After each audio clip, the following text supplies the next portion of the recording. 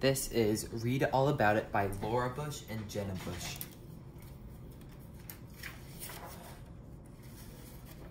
I'm Tyrone Brown and I rule the school. I'm a professional student and class clown. Let me introduce you to my pals. The kid geniuses in the classes is Edmund. Jane is the girl with legs like branches, and this is my best friend, Big D. We always keep our class in line. And that's Miss Libro, our homeroom teacher. She's alright, but we don't exactly see eye to eye. I told her books are so last year. It's not that I despise books, I just don't prefer them. I like playing freeze tag with my friends and catch with my dad and helping my mom pull the pesky weeds from the front yard. These things are real. As I told you earlier, I rule the school. I love watching Mr. Lums, Lumsquitz scratch his head in awe when I solve the math problem of the day every day. Miss Toadskin thinks she can gross us out with her science experiments, but I live for that stuff. And of course, I'm the king of the monkey bars. I am everywhere. Well, everywhere except one place. Miss Libro says, Tyrone, the library is a wonderful place. You never know what you're going to meet in a good book. I say the library is a boring place. All I will meet there are stinky pages. Every day after lunch, Miss Libro reads to us. I sit in the back and use the whole time more wisely, but one day, everything changed. Miss Libro was reading a book about astronaut, which gave me the idea to create a spaceship that went orbiting into the chalkboard. Tyrone, please, save the spaceship for science class and listen. Everyone loves this book, said Miss Libro.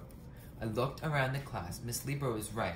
No one, not even Jane, had witnessed the, launch of the spacecraft Tyrone. So I listened, and the strangest thing happened. I actually liked the story hour. And then my whole world turned upside down. On Halloween, Miss Libro is reading us a spooky tale about a ghost named Jasper.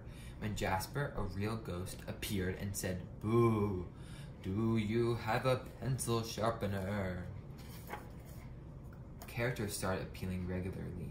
During a story about founding our founding fathers, Benjamin Franklin stepped into our classroom flying a kite. On Valentine's Day, Miss Libro read us a fairy tale. Just as the prince was about to save the princess, a fire breathing dragon flew in the window. In the spring, Miss Libro began reading from a chapter book about a pig. She had barely finished the first page when a, when a puggy, puggy, puggy pig sat down next to me on the reading carpet. At first, we did not want him in our classroom. He was dirty and disorganized. He ate the grossest combination, grossest combination of leftover school lunches. But as the weeks went by, we fell in love with that butterball. He was witty and kind. Jane taught him manners, and he began to eat like a proper gentleman. And he took over my role as class clown. His jokes were hilarious. What does a family of pigs do at an all you can eat buffet? And then they pig out. And then a terrible thing happened a real crime. It was a rainy Monday when Miss Libro finished the chapter book. As she closed the book for the final time, the pig disappeared and didn't come back. The whole class was hysteric. Hysterics. We loved our little porker. When recess came, I knew what had to be done. Don't worry, this pig napping is just the case for Tyrone and his posse, I said.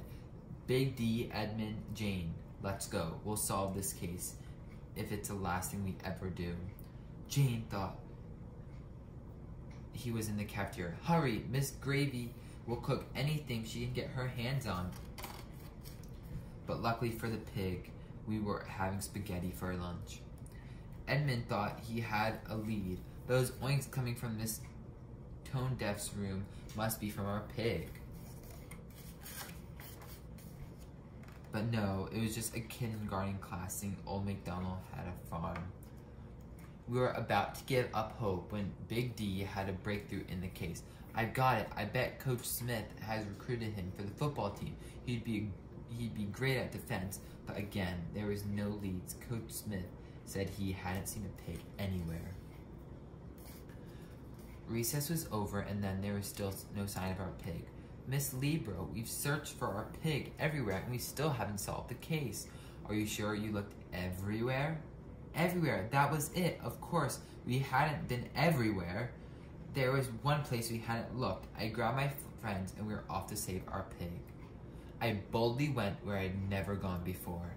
And there, they all were Benjamin Franklin, Jasper the Ghost, the dragon, and in the middle of the room was our pig.